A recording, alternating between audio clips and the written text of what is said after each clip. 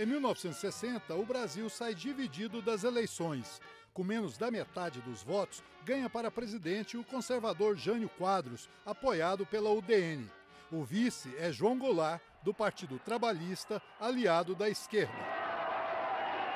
Jânio assume no Brasil na mesma época que Kennedy vira presidente dos Estados Unidos. Em plena Guerra Fria com a União Soviética, o interesse americano é impedir a expansão do comunismo. Por aqui, Jânio proíbe briga de galo e biquíni. Para passar a imagem de independente, condecora Che Guevara, herói de Cuba. Em agosto, Jânio renuncia. Deveria assumir o vice João Goulart, Jango.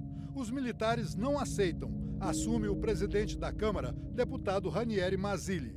O Congresso adota o parlamentarismo, mas um plebiscito restabelece o presidencialismo e Jango volta presidente.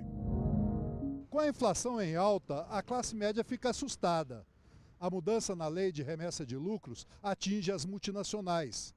Para distribuir terras e fazer as reformas eleitoral e tributária, é preciso mudar a Constituição. Sem apoio no Congresso, Jango recorre aos sindicatos. Pela justiça social e ao lado do povo, pelo progresso do Brasil. A instabilidade aqui preocupa os americanos. A Casa Branca passa a considerar a alternativa de um golpe para evitar um governo de esquerda em Brasília. Kennedy autoriza milhões de dólares em propaganda no Brasil para criar o clima favorável ao golpe. Em novembro de 63, ele é assassinado. O vice, Lyndon Johnson, mantém os planos para o Brasil.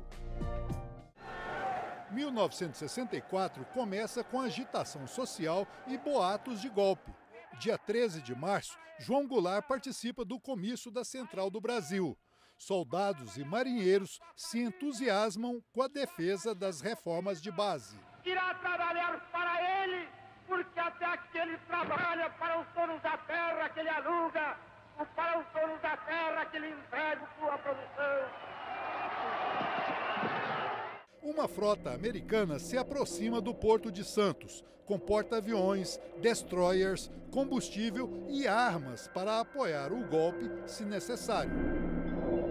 Na noite de 30 de março, Jango repete o discurso para sargentos e suboficiais no Automóvel Clube do Rio. Horas depois, na madrugada do dia 31, o general Mourão Filho deflaga o golpe. Ele sai com a tropa de Juiz de Fora em Minas rumo ao Rio de Janeiro.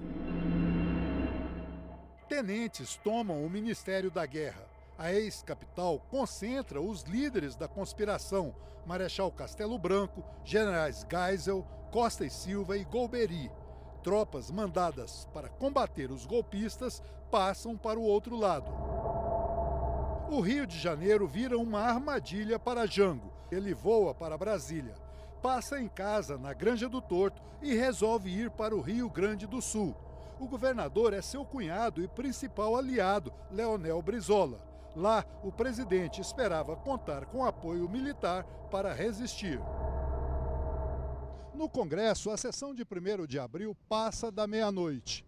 No Palácio do Planalto, ministros escrevem um comunicado dizendo que o presidente não havia deixado o país. Quando o comunicado chega ao plenário, a energia é desligada misteriosamente.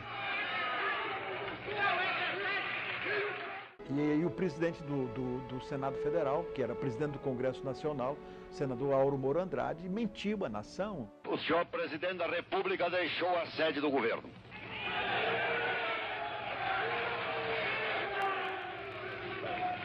Assim sendo, declaro vaga a presidência da República. O deputado Mazili vira novamente presidente, mas quem manda mesmo são os militares deputados presos, governadores derrubados, sai o primeiro ato institucional. O Congresso elege o Marechal Castelo Branco. É o primeiro de uma série de cinco generais presidentes que ficariam no poder durante 21 anos.